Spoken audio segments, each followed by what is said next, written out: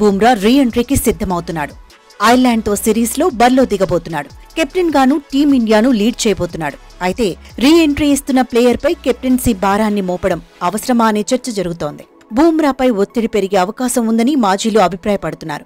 మరోవైపు టీమిండియాకు జస్ప్రీత్ కీలకమని అంటున్నారు. ప్రధాన ఆటగాడని చెప్పటం వల్ల కూడా బూమ్రా మీద అంచనాల భారం పెరిగే అవకాశం ఉందనే వాదన వినిపిస్తోంది. అయితే కెప్టెన్సీ అప్పగించే విషయంలో సెలెక్టర్లు తొందరపడ్డారని కొందరు ఫ్యాన్స్ కూడా సోషల్ మీడియాలో చర్చకు తెరలేపారు. నిజానికి దాదాపు ఏడాది తర్వాత బూమ్రా బరిలో దిగబోతున్నాడు. చివరిగా గతేడాది సెప్టెంబర్లో అంతర్జాతీయ మ్యాచ్ ఆడాడు. ఆ తర్వాత ఆటకు పూర్తిగా దూరంగా ఉన్నాడు.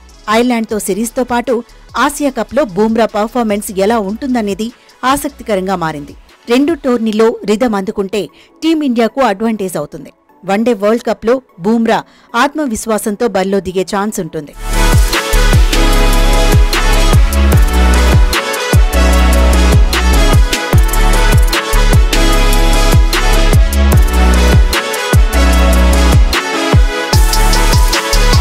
ఒకవేళ ఐర్లాండ్ టూర్తో పాటు ఆసియా కప్లోనూ వికెట్ల మోత మోగించలేకపోతే జస్ప్రీత్ పై ఒత్తిడి పెరగడం ఖాయమని ఎక్స్పర్ట్స్ అంటున్నారు.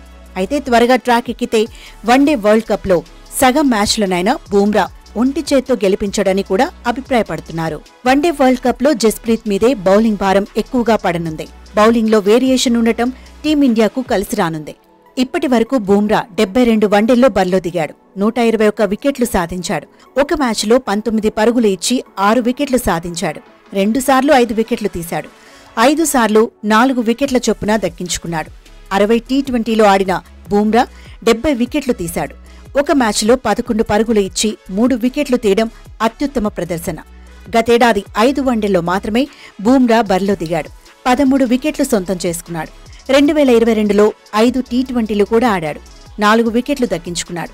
గతేడాది ఐదు టెస్టుల్లోనూ బూమ్రా బరిలో దిగాడు. ఇరవై రెండు వికెట్లు దక్కించుకున్నాడు. అయితే రెండు వేల ఇరవై రెండులో ఆసియా కప్తో పాటు టీ ట్వంటీ వరల్డ్ కప్లో జస్ప్రీత్ ఆడలేకపోయాడు. ఆ ఎఫెక్ట్ టీమిండియాపై కనిపించింది. ఈ ఏడాది వరల్డ్ టెస్ట్ ఛాంపియన్షిప్ ఫైనల్లోనూ బూమ్రా లేని లోటు తెలిసిందే.